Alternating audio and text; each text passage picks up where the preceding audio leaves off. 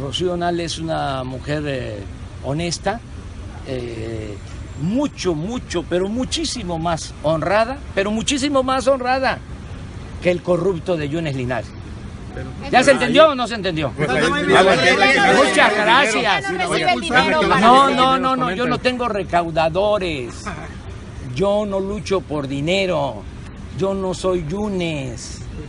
Yo no soy Peña. Yo no soy Salinas. Les repito, me pueden llamar peje, pero no soy lagarto. Ya, que quede claro.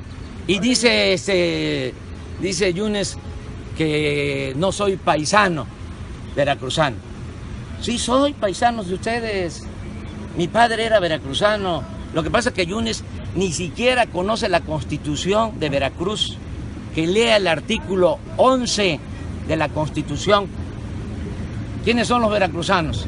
Los que nacen en Veracruz y los hijos de madre o padre veracruzano.